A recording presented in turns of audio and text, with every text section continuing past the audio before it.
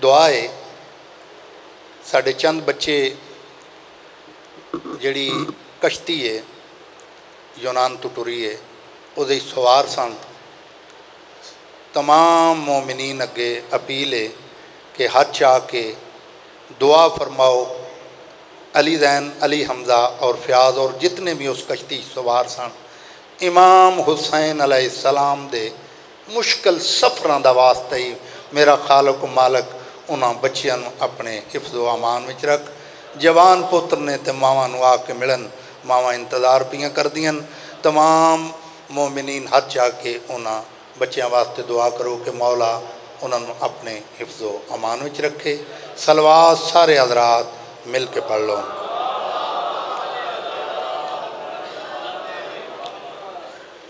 पैरों के आबलों से जो खंजर कुचल गई पैरों के आबलों से जो खंजर कुचल गई, सोच की हदों से जो आगे निकल गई। दो हाथ बढ़ गई जुल्फकार से, नस्ल यजीद काट डाली चादर की धार से। हूँ जनाब के सामने अलामा मोहम्मद सईद साहब, आप कोटली काजी वो खिताब फरमान दे, और उन्होंने तो बाद अलामा अली नासर अल हुसैनी साहब।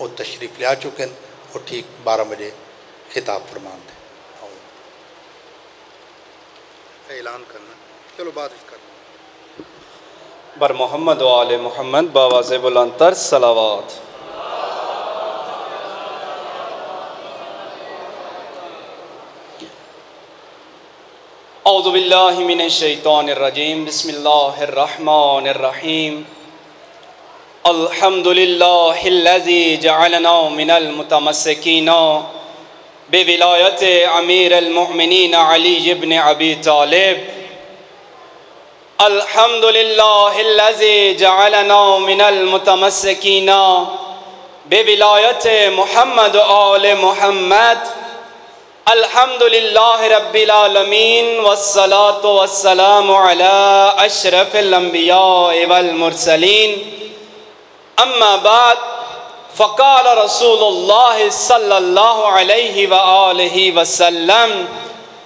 ज़रबत अली इब्न अबी तालिब फ़ी यौमिल मिन इबादत सकलैन फ़काल तबारक व तआला फिल हदीसिल कुदसी अल विलायत अली इब्न अबी फमन दखल खिसनी आमिना मिन अजाबी बर मोहम्मद वाल मोहम्मद बावाज बुलंतर सलावात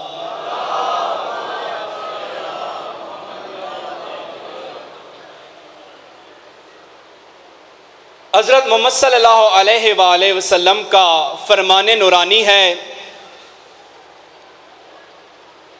कि ए अली जब तेरे शिया मिल बैठते हैं तो जो है ए अली, जब तेरे शिया मिल बैठते हैं और मिल बैठ के हम अहले बैत का ज़िक्र करते हैं, इसके कबल कि वो अपनी नशिस्तों से उठें, खुदा उनके सारे गुनाह माफ़ फरमा देता है।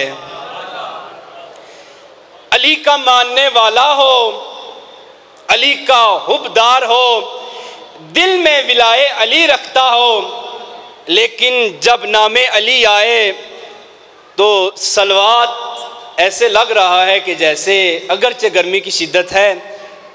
लेकिन अली को याद करें, नामे अली लें और ऐसे सलवात पढ़ें कि जब अली सुने तो खुश हो जाएँ, वाक्यन मेरा चाहने वाला है।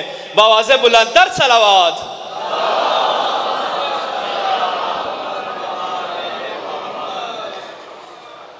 मौजू गुफ्तगु रखा तो कुछ और था, लेकिन अब मजलिस की मुनासबत से अजमत अली हुब अली और मुकाम अली बयान करना है। रसूल की नज़र में, अल्लाह की नज़र में और फजीलत अली की बयान करनी है कि जो आला हैं दूसरों से। दूसरों का सबको पता है, बुजुर्गान, कि अली का मुकाम मरतबा क्या है? सबसे पहले कि जो मैंने फरमान नूरानी आपकी खिदमत में बयान किया है, सब बच्चा बच्चा वाकिफ़ है इस फरमान से कि ज़रबत अली इब्न अबी तालिब, अली की एक ज़रबत, अली की एक ज़रबत फ़ी यौमिल खंदक। के खंदक के दिन। अब अगर कहें तो थोड़ा सा वाक़ खंदक बयान कर देता हूँ। एक दफ़ा बवाज बुलंतर सलावाद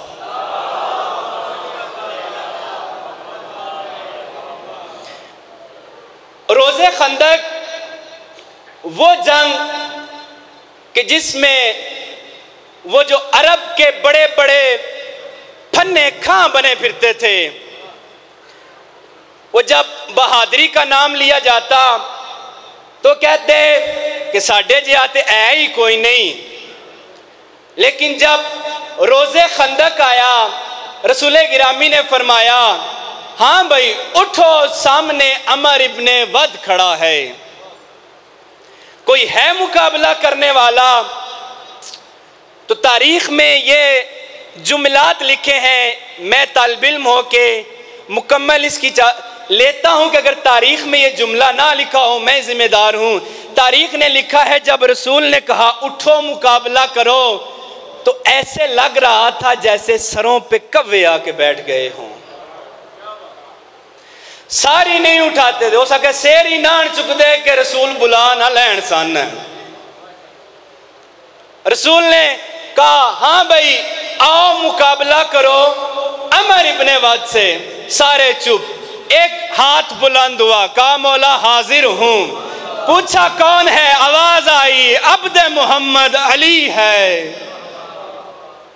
फिर कहा, है कोई जो जुमला तारीख का, है कोई जो इस कुत्ते का मुँह बंद करे? फिर आवाज़ आई वही कुत्तों के मुँह बंद करते हैं जो वाकिफ हो कुत्तों की नस्लों से। अली ने कहा, हाजिर हूँ मौला। फिर जब तीसरी दफ़ा कहा, किसी ने कोई जवाब ना दिया तो कहा, उठो अली, जाओ। मुकाबले में अमर इब्ने वद के और साथ ये जुमला कहा, वो देखो, अली नहीं जा रहे। कुल्ले ईमान जा रहा है, कुल्ले कुफर के मुकाबले में।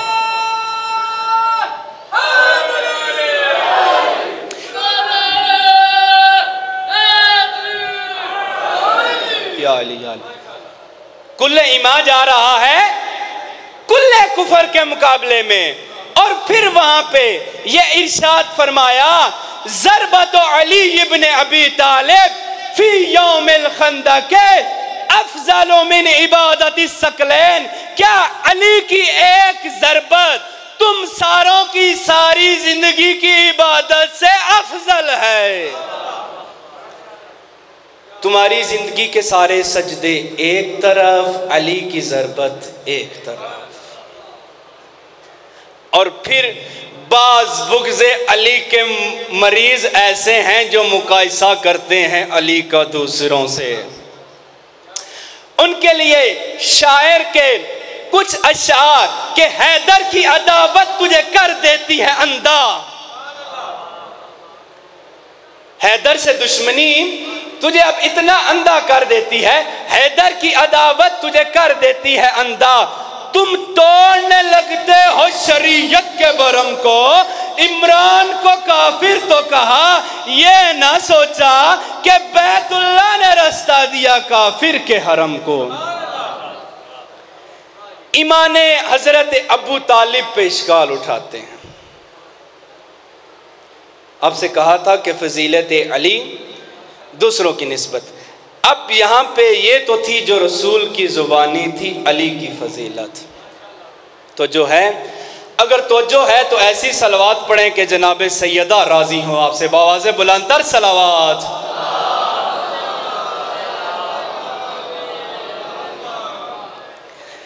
तारीख में लिखा है, मैं खुद से कुछ नहीं कहूँगा। खलीफा सानी के ये जुमले हैं कि जब उनको कोई दर मसला दरपेश आता और समझ ना आती तो फ़ौरन कासद भेजते, जाओ, अली से पूछ के आओ। और एक दफ़ा जब इमाम आए, मसला हल किया तो वहाँ पे बेसाख्ता बोल उठे, लौला अली का फला। इब्ने फुला, खुदा की कसम, अगर आज अली ना होता तो मैं फला इब्ने फला हलाक हो जाता। मैं दीने खुदा से दूर हो जाता। अली सलाम का मुकायसा, या उनको परखना दूसरों के साथ, अली सलाम की फजीलत के लिए यही काफ़ी है कि रसूल खुदा फरमाते हैं या अली अली मा अल हक वल हक माल अली क्या मतलब इसका? लोगों, समझ ना आ रही हो कि तुम्हारे सामने अमीर शाम की मकारी है। एक तरफ़ अली की सदाकत है, एक तरफ़ अमीर शाम की अयारी है, दूसरी तरफ़ अली की दियानत है। तो फरमाते हैं ऐसे में क्या करो जब पता ना चले कि सच्चा कौन है झूठा कौन है रसूल खुदा फरमाते हैं आँखें बंद करो दस्ते अली थामो। क्यों? जहाँ पे अली होंगे वहीं पे हक होगा और जहाँ पे हक होगा वहीं पे अली होंगे।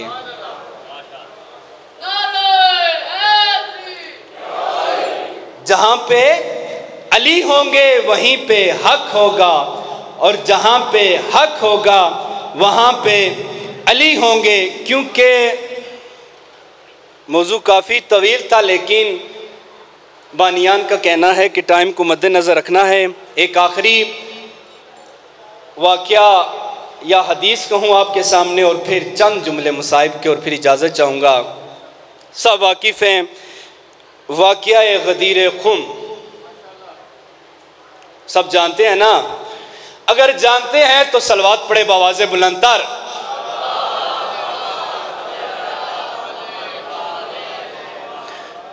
रसूल खुदा वसल्लम अपनी ज़िंदगी का आखिरी और पहला हज करके वापस लौट रहे हैं। गदीर खुम से पहले रसूल खुदा को अल्लाह का ये फरमान आता है, कुरान की आयत है, ना ये मैं खुद से कह रहा हूँ, ना किसी बड़े की कोई बात बयान कर रहा हूँ। रसूल खुदा को जब अल्लाह की ये आयत मिलती है, जबरील आते हैं और आके कहते हैं कि, या रसूल अल्लाह अल्लाह ने कहा है, या रसूल अल्लाह, बल्लिग मा उनजिला इलैका मिन रब्बिक। ए रसूल जो हमने तुमको पैगाम दिया है, वो लोगों तक पहुँचा दो। साबित हुआ कि अली की विलायत नबी ने खुद से नहीं कही है, बल्कि कलाम खुदा का एक हिस्सा है। विलायत अली दर हकीकत विलायत खुदा है। रसूल खुदा ने सबको इकट्ठा किया और प्लानों का मिंबर बनाया गया और फरमाया, जो आगे चले गए हैं, उनको पीछे लेके आओ। जो पीछे रह गए हैं, उनका इंतज़ार करो। अब सवाल किया जाए, मौला, ऐसी क्या खबर है? ऐसा क्या वाकया है? जो हजाज के इतने हजूम का इंतज़ार किया जा रहा है तो आगे से जवाब आता है, कोई छोटी मोटी खबर नहीं है, अली की विलायत का इला करना है। हरफ आखिर, वक्त को मद्दनज़र रखते हुए, यहीं पर इंशाल्लाह फिर अगर कभी ज़िंदगी रही मिले तो आगे इससे करेंगे। सामीन मोहतरम, कोशिश किया करें कि जब गम करबला, ज़िक्र करबला में आए ना तो एक शख्सियत जिसको मद्दनज़र रखें अपने सामने वो है इमाम सज्जाद सलाम। बुज़ुर्गान का कहना है कि अगर तुमने करबला के गमों पे रोना होना तो फिर किसी अच्छे सुर वाले जाकर या ख़तीब की तुम्हें ज़रूरत नहीं है। बल्कि अपने सामने उसवा रखो बीमार करबला को।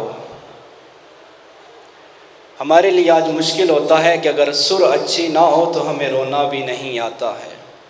अगर कोई पढ़ने वाला कमाल का ना हो तो फिर ये आँसू नहीं निकलते हैं। इमाम हुसैन सलाम का फरमाना है कि अगर मेरे मसाए पड़े जा रहे हों और तुम्हारी आँख से एक आँसू का कतरा गिर जाए, समझ जाओ तुम्हारी ये इबादत मेरी बारगाह में कबूल हो गई है।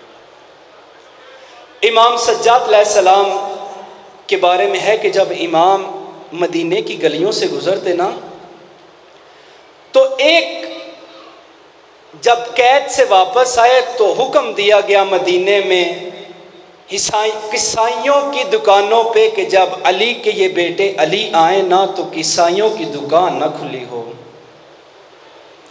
इसके पीछे वजह कि इमाम जब गलियों से गुजरते तो किसी छोटे से शिशमा के बच्चे को देखते तो फ़ौरन करबला की तरह मुँह करके कहते, या अखी, ए मेरे छोटे भाई, ये उम्र होती है छोटे से सिन में तीर लगने की। आगे कहीं से गुजर रहे होते, किसी की बहन के सर पे चादर या अबाया देखते, फिर शाम की तरफ़ मुँह करते और कहते, मैं कुर्बान जाऊँ पुफी जान, आप और शाम का बाज़ार। एक दफ़ा इमाम गुजर रहे हैं, किसाई की दुकान के सामने से, किसाई का देहान नहीं रहा, देखा कि फर्जंद रसूल बिल्कुल सामने आ गए हैं। इमाम ने आके सलाम किया, अस्सलाम या अब्द साले ए खुदा के अब्द साले, बंदे तेज पे मेरा सलाम हो। जवाब दिया का सलाम यबना रसूल अल्लाह बोला आप पे भी सलाम हो। इमाम गमगीन लहजे में पूछते हैं, ये जो जानवर को ज़िबा करते हो, क्या पानी पिलाते हो इसको? किसाई की आँखें बाहर रहे, रोते हुए धीमे लहजे में बोला, मौला मोहम्मदी शरीयत से वाकिफ हूँ। फरमाया, मोहम्मदी शरीयत में ऐसा क्या है जिससे वाकिफ हो? धीमे से लहजे में, रोते हुए अंदाज में कहता है, मौला, मैंने खुद पढ़ा है, हज़रत मोहम्मद की शरीयत कहती है, जब जानवर को ज़िबा करना होना पहले इसको पानी पिलाओ। फिर इसको दूसरे जानवरों से दूर करो और तीसरा और आखिरी काम यह है कि जब इसको ज़िबा करने लगो ना तो जिस छुरी चाकू या खंजर से ज़िबा करो, वो तेज रखो, खंजर, छुरी या चाकू को डाना हो। ये जुमले सुनने थे, करबला की तरफ़ मुँह किया, रोते हुए कहते हैं, या बाती ऐ मेरे बाबा, यहाँ पे तो किसाई जानवरों को भी ज़िबा शरीयत मोहम्मदी पे करते हैं। मैं कुर्बान पे तीन दिन की प्यास है। सत्तर कदम पे बहन जैनब खड़ी है और कातल के हाथ में जो खंजर है, वो भी कुटा है। इन्ना लिल्लाहि व इन्ना अलैहि राजिऊन। माशाल्लाह। अलामा साहब पहुँच चुके हैं।